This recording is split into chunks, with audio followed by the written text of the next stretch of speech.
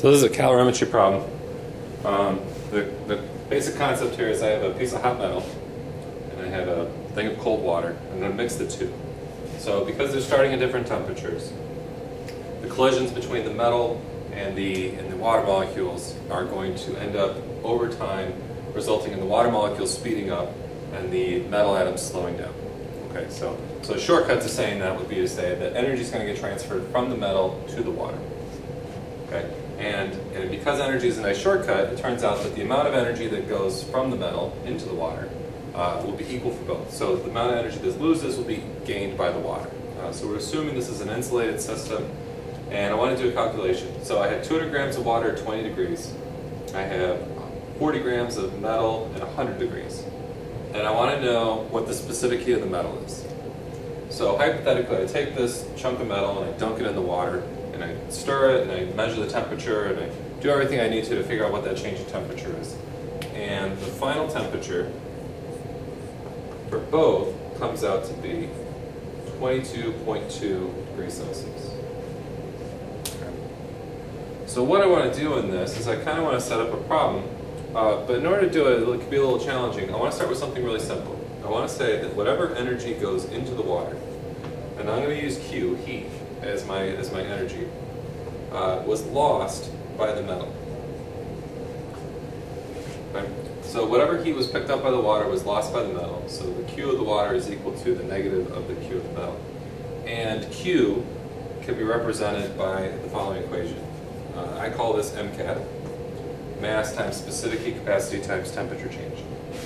So what I'm going to do is I'm going to plug in the mass of the water, specific heat capacity of liquid water, the temperature change of the water, and then I'm going to compare that to the negative of the mass of the metal times the specific heat of the metal times the temperature change for the metal. So every value in here is for the water. Every value in here is for the metal. When I plug in, the one thing that I'll be missing will be the specific heat capacity. Okay? So going through line by line, my water is 200 grams. My specific heat capacity of water is something you should have memorized. It's 4.18 or 4.184. And the temperature change. The water starts at 20 and it goes up to 22.2. So the change then is 2.2 degrees Celsius. Okay? That will then be equal to the negative of the mass of the metal, specific heat capacity of the metal, and the temperature change of the metal. So if we start looking at the metal, the metal has 40 grams. The specific heat we don't know, so we're going to leave that as C. And then the temperature change, it starts at 100 and it ends at the same temperature as the water, 22.2. When the temperatures become equal, that's when your energy exchange will start to be at an equilibrium where, where the amounts won't change. Okay, so how much am I dropping from here to here? Well, I'm close to 80 degrees. I'm a little under. That would be at 77.8 degrees Celsius.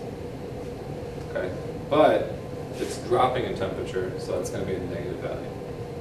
Okay, so my two negative signs end up kind of canceling out. And I'm left with a little algebra problem. But what I would do is I would take 200 times the 4.184 times the 2.2. And that would be all the energy that goes into the water from the hot metal. And then that's equal to the, the amount of energy that the metal is losing, which would be 77.8 times the specific heat capacity times 40.